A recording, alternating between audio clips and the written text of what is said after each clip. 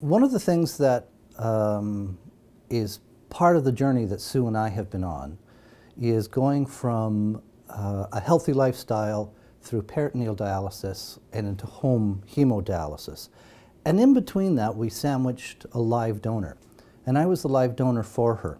Other people may wonder what a live donor um, responsibility and, and journey looks like. Well, here's a bit of my story. When Sue's peritoneal dialysis began to be less effective for her, we started the process of examining uh, the possibility of a kidney for her.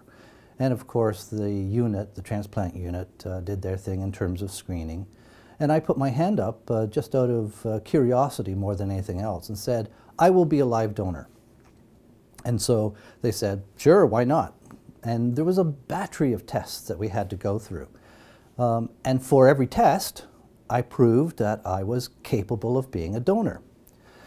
Um, so I really relied on the team to say to me, you're healthy enough to be a live donor, uh, which was a comfort.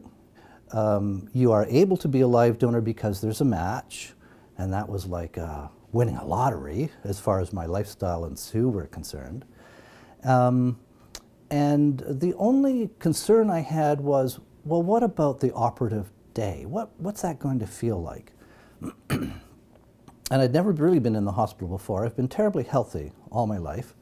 And um, when I got to Dr. Patrick Luke, um, he said, he looked me in the eye and said, are you sure you want to do this? And I said, absolutely, absolutely. Then he pulled out some forms and we signed them off.